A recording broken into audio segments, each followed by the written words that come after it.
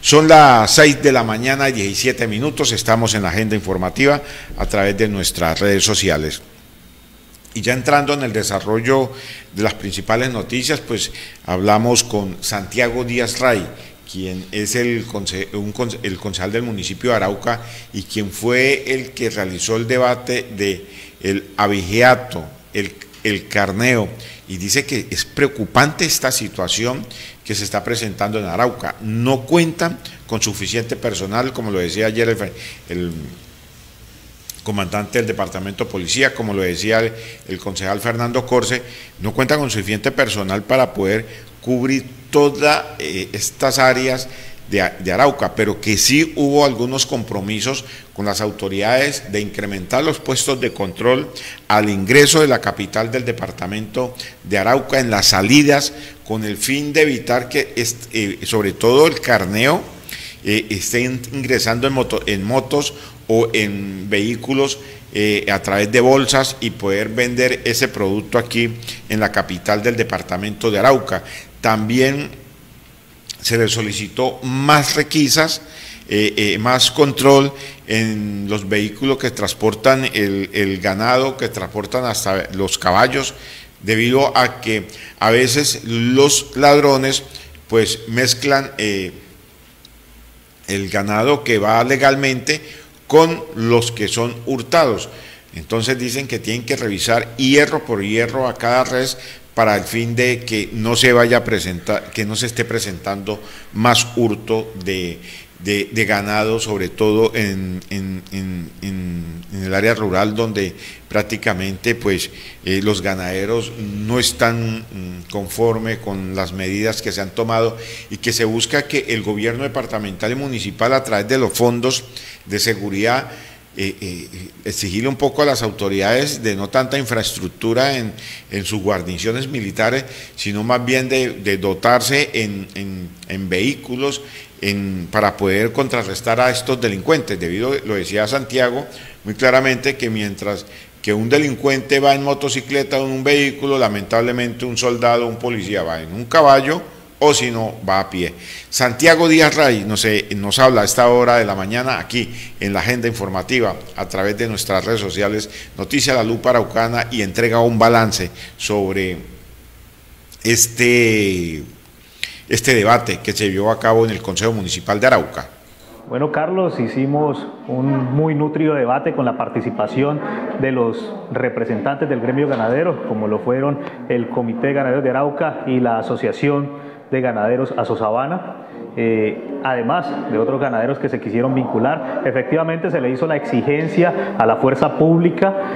en establecer unos puestos de control fijos en los puntos estratégicos que ya anteriormente se le han mencionado por parte de los ganaderos. Además de ello, en estos puntos pues se va a exigir que los, los miembros de la fuerza pública de verdad se encaramen, como decimos, en los camiones y verifiquen los hierros de los ganados y que el soporte de la guía de movilización coincida con los animales que van ahí, porque muchas veces lo que hacen los ladrones del ganado o de las bestias es que mezclan ganado legal o, bestias legales con unas robadas y entonces confunden a los funcionarios que no verifican bien y dejan eh, seguir el camino de estos camiones con el ganado obtenido de forma ilegal o pues producto de la vigeato. Además de ello, se hizo la solicitud de la participación en los consejos de seguridad y ese fue el compromiso. La próxima fecha que se asigne un consejo de seguridad va a contar con la presencia de una comisión accidental que se creó en el consejo municipal conformada por tres concejales y los miembros eh, representantes de los ganaderos concejal, preocupa es que el mismo comandante del Departamento de Policía dice que no cuenta con suficiente personal y sobre todo en materia de pelotón de carabineros. Exactamente, es una crítica que venimos haciendo desde hace muchos años a la Policía Nacional. Hemos enviado documentos pidiendo el aumento de pie de fuerza, obviamente a la fuerza pública, y no ha sido posible. Los carabineros no dan abasto. Yo creo que si hay 17 carabineros será mucho en el, en el municipio y además de eso tiene que cubrir todo el departamento de Arauca. Entonces estamos acéfalos, pero lo que vamos a hacer es unirnos y estar pendientes y hacer seguimiento mensual, periódico, para que las acciones no se mantengan solamente a raíz del debate por unos 15 días, sino que perduren en el tiempo y en esa tarea es que vamos a estar insistiendo y persistiendo. También se habló de dos drones que van a entrar en funcionamiento. No, por ahora se ha entregado un solo dron por parte de la alcaldía municipal. Vamos a ver, esperábamos obtener resultados, porque eso fue en el mes de febrero que se entregó, esperábamos obtener resultados, pero lastimosamente todavía no nos entregaron ningún balance positivo eh, por parte de la manipulación o del funcionamiento de este dron. Entonces, eh, estaremos vigilantes también de este tema. La Asociación de Ganaderos Asosabana le hizo la solicitud a la Administración Municipal de un parque motorizado para el Ejército Nacional en la parte rural, puesto que los delincuentes andan en moto y en automóvil y el ejército anda o a pie o de a caballo. Y pues obviamente nos están ganando la partida. Entonces, así como se le pudo comprar a Migración Colombia una camioneta Chevrolet último modelo, pues ¿por qué no podemos dotar para la seguridad de los ganaderos con un parque de, de motorizado? ¿Qué se va a hacer en el tema del carneo que se ha incrementado? Bueno, también aumentar los controles a la, al ingreso de la ciudad en, el sitio de Caño Jesús, donde pues obviamente es un punto álgido y principal donde se puede realizar este control. Los ganaderos estuvieron denunciando, a tan solo cinco minutos del casco urbano se están presentando los casos de carneo transportados en motos, en motocargas y en automóviles. Los ganaderos tienen identificados a los delincuentes, se está brindando la información y queremos son los resultados y para eso vamos a estar ahí exigiendo. Bueno, ahí estaba eh, Santiago Díaz Ray, quien es el eh, concejal del municipio de Arauca, hablando sobre este tema del de abegiato. También hizo un llamado a las autoridades, sobre todo a la administración municipal, a la Secretaría de Gobierno, para que hagan más controles sobre eh, los puestos de, o los expéndidos de carnes eh, en, la, en, la, capital del departamento de Arauca porque están incrementando demasiado los precios. Y esto pues ha generado que muchas personas eh, pues esto pues mm, eh,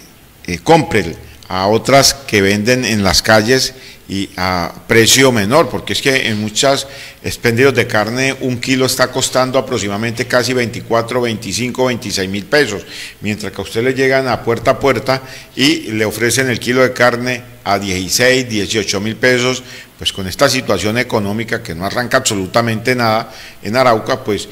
el, la comunidad busca eh, el ahorro y prefiere comprar un kilo de carne a 16 mil pesos que le lleven a la casa y no ir a un expendio de carne donde están vendiendo la carne prácticamente a 26 mil, a 24 mil pesos el kilo. Entonces, esto está preocupando aquí en Arauca, esta situación, más control a los expendidos de carne, y es más, es que uno va a, los expendidos de carne y uno no ve ni siquiera el decreto que eh, emitió, emitió el gobierno municipal que deben de colocar los precios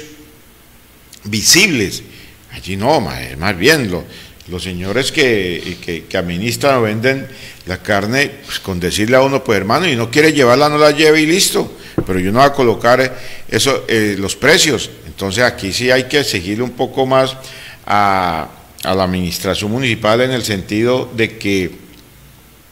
se debe exigir los precios visible de la carne. Con eso se evita también el famoso carneo, porque es que eh, están robándose las reses, las matan en el mismo lugar prácticamente donde las roban y, y salen a venderla en las calles o a ofrecerlas a un precio menor y la comunidad por ahorrarse, pues claro, de inmediato inicia a o inician a comprar y esto lo que hace es aumentar más el, el el carneo en el municipio de Arauca.